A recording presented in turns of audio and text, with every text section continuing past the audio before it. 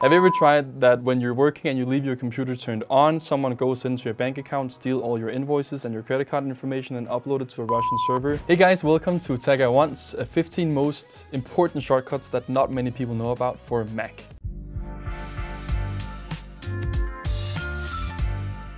I'm Jeppe, I work at Tech I Want, I'm kind of like the janitor slash cook.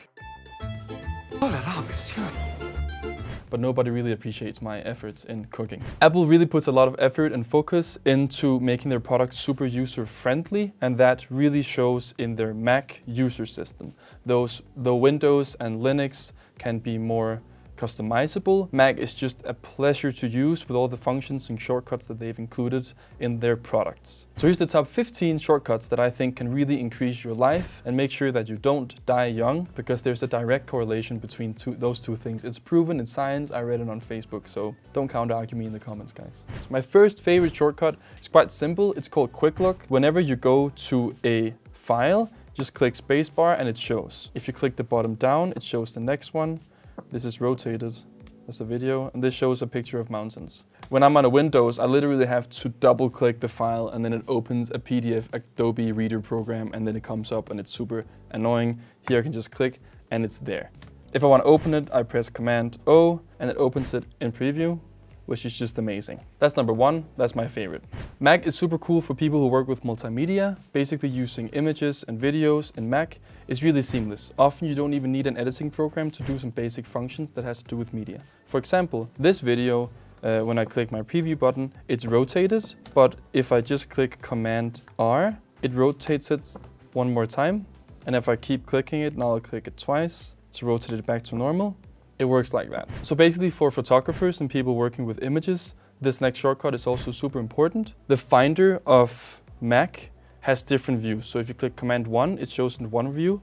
Command 2, it's the next one. Command 3 is the third. But my favorite view is Command 4. So basically in this view, you can see all the metadata of your images and your videos, making the process of working with multimedia super seamless. So basically, Mac is not only for uh, people who do multimedia, it's also for those people who need to access like the main back of the computer, like programmers, or people just like installing different things. Really easily, you can click Command, Shift and C, and it kind of opens like a top level page of your computer. So if you're like me and you have a lot of different tabs open, a quick way just to exclude every other tab than the one that you're looking at is to hold Command Option and then go down to the dock and click that program. Then you see Safari being excluded. If I want to see preview of an image, I'll click that and the image is gonna come up. Super nice way just to clean your whole dashboard, kind of focus on the things that you want to see.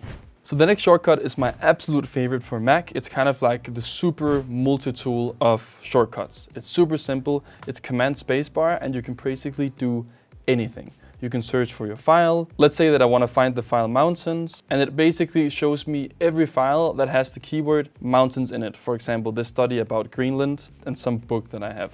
Besides just showing you the files that you're interested in, you can also use it as a calculator. So you can say 12 plus 6 and it'll show you the result. You can also use it as a currency converter. For example, $100 to euros, it will show you exactly how many euros that is. This means that you don't have to go to your browser and use Google to search for all these things. You can just click Command, Spacebar, and you can pretty much do anything. And also remember to click that uh, like button and try this time to do it with your toes, not with your thumb. I heard that the YouTube algorithm kind of like can separate that. I don't know how they do it. And subscribe. Because if you subscribe, you will get a lot of crazy content in your inbox from Tech I Want. The next thing is that if you click Control Command Space, you can pretty much access any emoji. You basically just have to write what it is, like sheep, and anything comes up. The next one is for the people who are doing music production or just people who are really, really careful about their sound volume. As you know, the sound goes up in basically small bars, but if you want to make it more incremental, you can hold Option Shift and basically your sound will go down or up depending on the button you press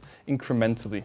So if you really need to listen something at a very specific volume, you can use this. So basically, if you want to access preferences for basically any program, you just need to click Command and comma, and it shows you all the preferences. And this works for any program that's on the Mac. Super nice, and you'll save tons of seconds in your life, which is great for your really busy millennial lifestyles. The next one is my second favorite because so many Windows users and users on Linux have to download some crazy, really ugly programs to do screenshots. But here on Mac, it's incredibly easy. You have two options to do a screenshot. Take one of the whole screen or select a little field that will crop out and take a screenshot from. It's so simple, you just have to click Command Shift 3. That's a whole screen and it appears on your desktop.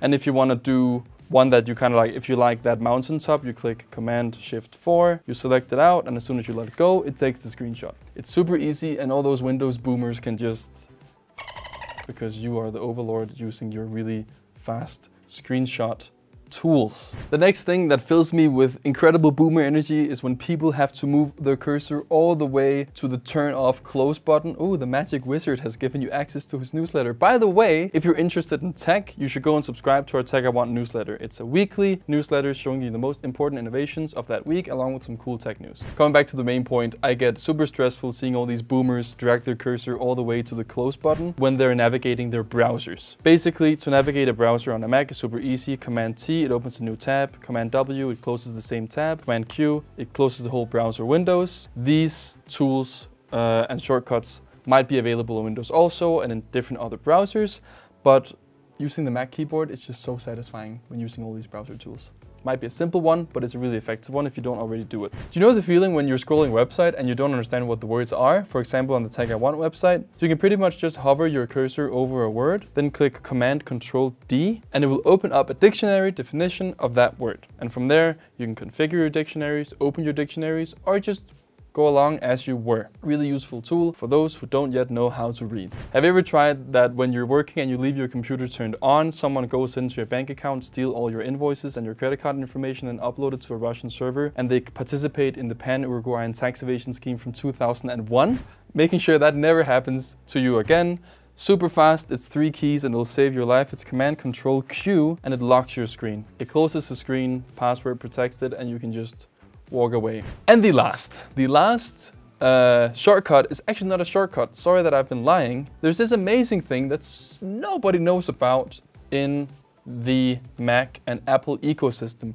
There's this program called the Automator that can pretty much do a lot of different tasks for you. Let me show you how it works. So for example, I have this mountain pictures. As we can see, it's 4.8 megabytes and I think that's kind of a lot. So I want to compress it basically 60%. I opened the Automator program and I basically made, it's not a code, but it functions as a code to do different tasks for you so you can save time. So to use this, I right click, I go to quick actions and I click uh, scale 60. It basically opens Automator, duplicates the image and then I have an image right next to there that is scaled 60%. If you have a PNG and you want to make it a JPEG, I've also made an automation there. You can go to quick actions and go back and convert to JPEG.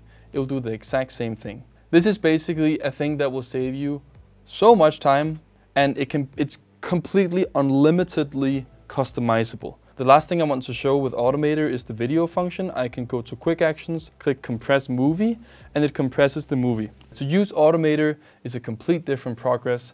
I'd love to make a video about it, so if you're interested in the best Automator hacks for Mac, please write in the description, like this video and subscribe, and I will get to it. But let me just show you how the interface looks it looks really confusing. So that's why you actually probably really need an explainer from me. Learning these shortcuts is gonna take a very short time and it will benefit you very much in the long run. If I forgot a shortcut that you thought was uh, important enough to be put into this video, please comment it down below.